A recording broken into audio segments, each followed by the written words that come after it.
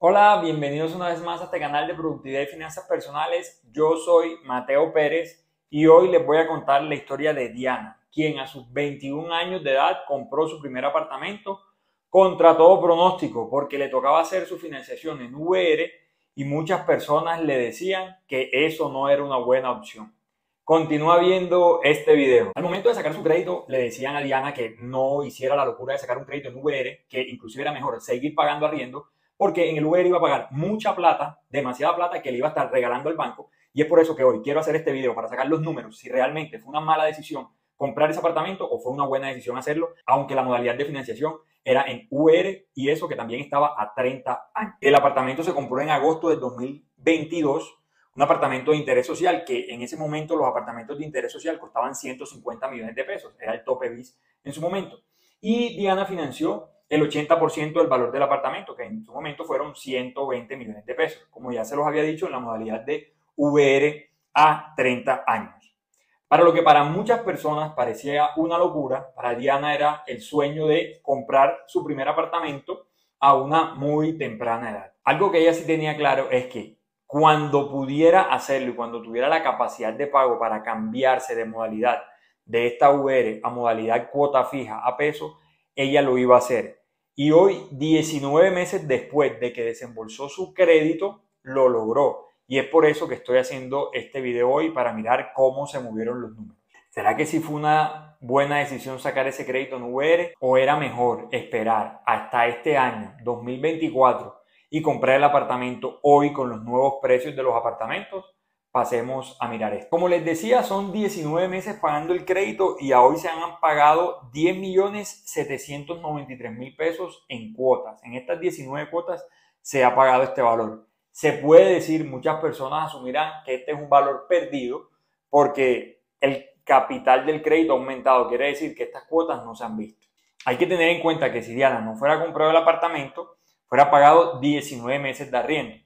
Poner un arriendo de un millón de pesos fuera pagado 19 millones de pesos. En este sentido, fuera pagado más en arriendo que lo que ha pagado en las cuotas de su crédito. En el 2022, la deuda era de 120 millones de pesos, lo que el banco le prestó. Pero hoy, en el 2024, 19 meses después, la deuda pasó de 120 millones a 134 millones de pesos. Quiere decir que aumentó 14 millones 500.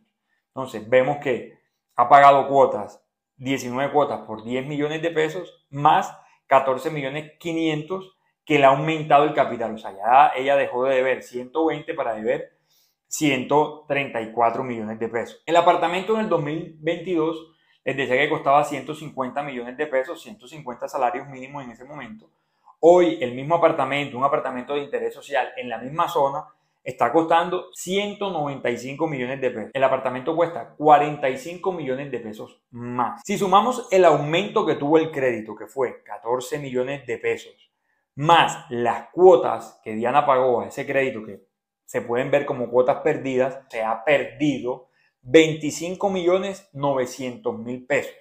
Pero también tenemos que mirar la otra cara de la moneda, que es sumar el valor que ha tenido el apartamento, los apartamentos de interés social, porque ella compró hace dos años, como les decía, y este aumento ha sido de 45 millones de pesos, que es un valor que ella se ganó por comprar tiempo atrás. Y adicional a esto debemos sumar lo que ella dejó de pagar en arriendo, que fueron 19 millones de pesos. Al sumar estos dos, esto nos da 64 millones de pesos versus los 25 millones de pesos que ella ha entregado al banco en cuanto a las cuotas y en cuanto al valor del crédito que, que le ha subido. Si hacemos esta diferencia a grandes rasgos, Diana ahorró 38 millones de pesos simplemente por haber comprado el apartamento hace dos años atrás. ¿qué fuera pasado si Diana fuera, fuera esperado no a hacer el crédito en ese momento, si no, no puedo hacer el crédito en, en VR porque no me gusta, porque la gente me dice que no es una buena opción y mejor espero dos años después para ya hacer mi crédito en pesos, Diana fuera perdido estos 38 millones de pesos, porque el valor del apartamento, todo lo que ha aumentado más, lo que ha dejado, lo que le fuera tocado pagar en arriendo, no fuera sido un ahorro para ella. Entonces, miren aquí cómo se siguen desmintiendo esos mitos de que la UR es una mala opción. La UR no es una mala opción, pero debes tener mucho conocimiento al hacerlo y como ya lo hizo, cuando tengas la oportunidad de cambiarte al plan de cuota fija, tasa fija, hacer este cambio. Ahora que viste los números, dime qué te parece esta modalidad de financiación. Que si bien es cierto, puede verse un poco eh, ruda, difícil o de pronto puede dar mucho miedo, pero miren que no es una mala opción.